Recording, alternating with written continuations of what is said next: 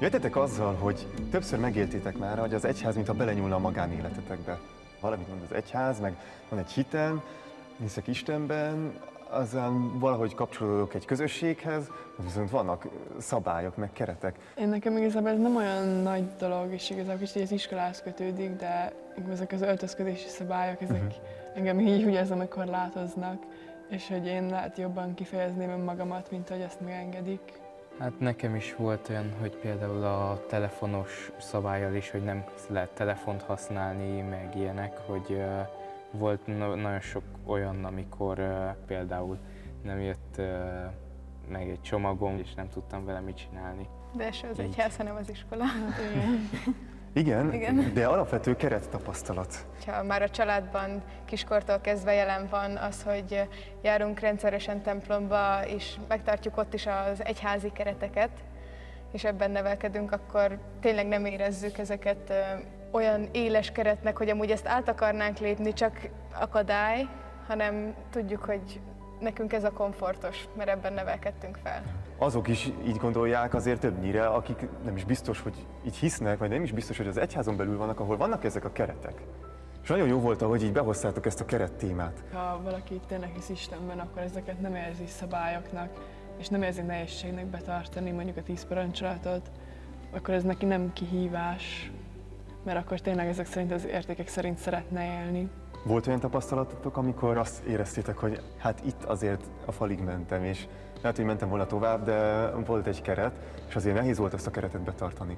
Ha valamilyen módon korlátokhoz érek, úgymond akár az Isten lekorlátoz valamiben, az volt egy nagyon sokszor rossz érzés, rosszul esik, nem tudod, hogy az most hogy kezeled, vagy ilyesmi, nem tudod, hogy miért van, de igazából egy idő után én átváltottam arra a szemléletmódra, hogy ez Istennek a szándéka is lehet, és valahol tényleg belütközök valami határokban, amiben nem tudok átlépni, ami nagyon kényelmetlen, akkor belegondolok abba, hogy jó, de miért van ez, és mi lehet ennek az előnye.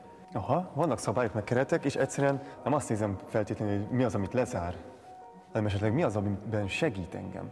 Szerintem amúgy a kereszténység önmagában egy elég nyitott és elfogadó vallás. Ú, uh, én... ebbe megegyezünk? Azért vannak ellenvélemények, de azok a fejünket. Legalábbis én úgy, vagyunk? én úgy tapasztaltam, Aha. hogy... Hát, mi az ellenvetés? Uh, nem tudom, én például kicsit szexista vallásnak tartom ezt, uh-huh. hogy ugye a nőket uh, egy lejjebbi sorrendbe sorolja. Vannak egyházi és vannak világi szabályok, és um, ugye a világi az világi dolgokra vonatkozik, az egyházi pedig inkább a lelkünkre. De viszont szerintem néha az egyházi szabályokat nehezebb betartani, például vegyük azt, hogy valaki nagyon felmérgesített, viszont van egy olyan szabály, hogy úgy szeres fele barátodat, mint magad. És ez néha nagyon nehéz tud lenni, és nagyon nehéz alkalmazkodni ezekhez a szabályokhoz. Aha. Ez egy érdekes, hogy ezeket szerintem nem kéne összekeverni a világ és az egyházi dolgokat pedig ezt az egyház nagyon sokszor megteszi.